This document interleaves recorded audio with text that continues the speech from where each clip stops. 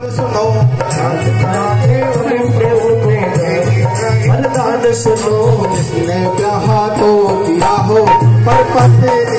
हो जिसने ब्याह तो किया हो, पर पते